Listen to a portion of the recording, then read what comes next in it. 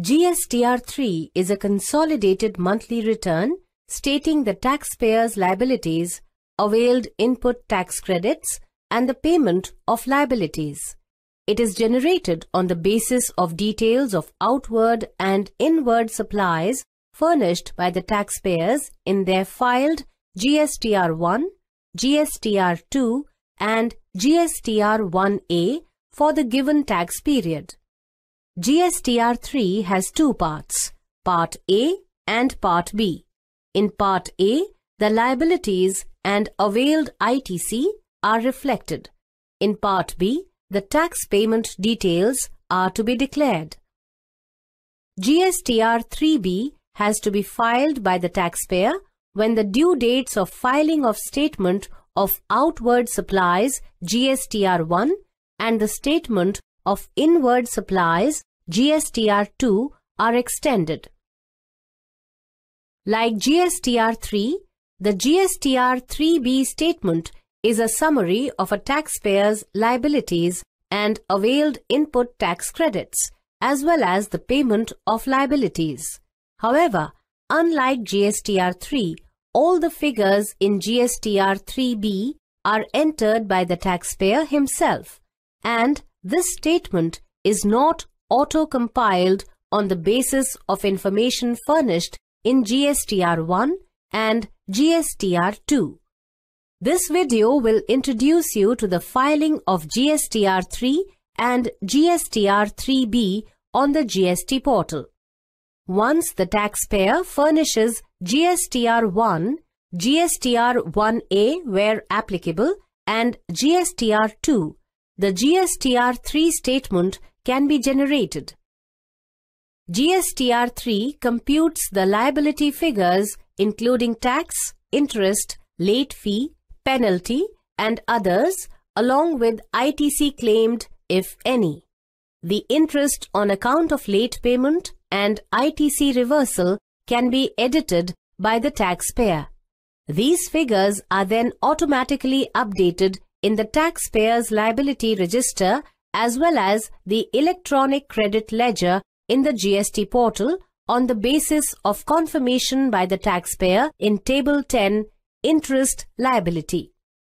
This liability can then be settled in Part B of GSTR 3 either by utilizing ITC or through cash or both in any proportion that the taxpayer wants in line with the utilization rules laid down in the GST Acts in Section 49, subsection 5.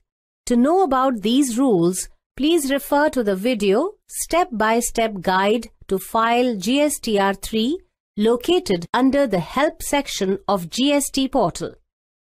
If GSTR 3 is filed without payment of tax liability in full or part, the GST portal will allow the filing but such return would be treated as an invalid return.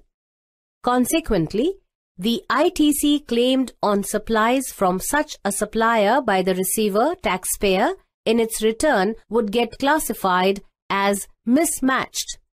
To learn about how to make tax payments and to understand various payment options, please refer to the online course on payments.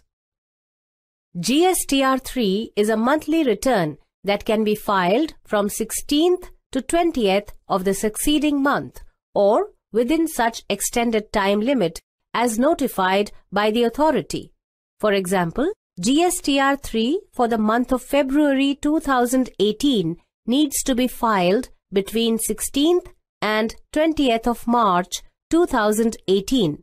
However, filing this return is based on certain prerequisites.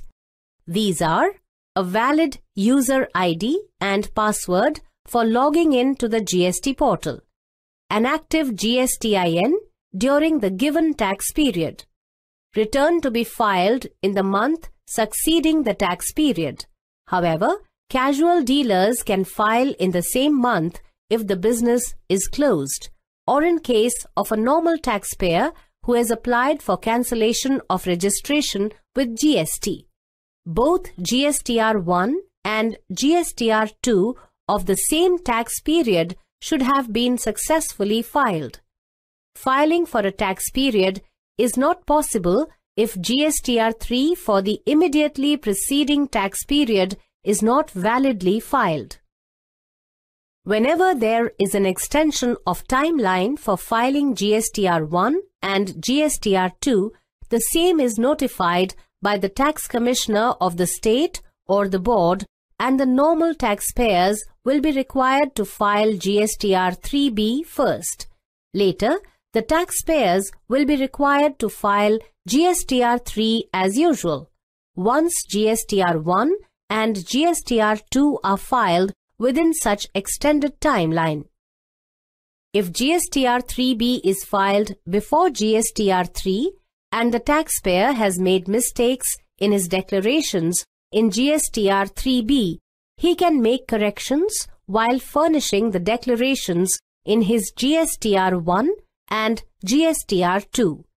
Any excess credit claimed will get posted in the ITC ledger while filing GSTR 3. Also, any excess credit taken in GSTR 3B will be added to liability in GSTR 3 and can be paid while filing GSTR 3. Further, if there is any increase in liability in GSTR 3, the excess will be reflected in Part B and the taxpayer can pay the liability along with interest. If the liability gets reduced while filing GSTR 3, the negative liability will get reflected in the next month's GSTR 3, which can be offset in the subsequent tax period. There are some important points that you must know about GSTR 3B.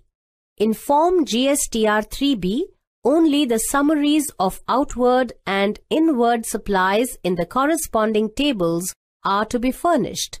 Invoice level details of supplies will need to be furnished while filing GSTR 1 later for the corresponding tax period.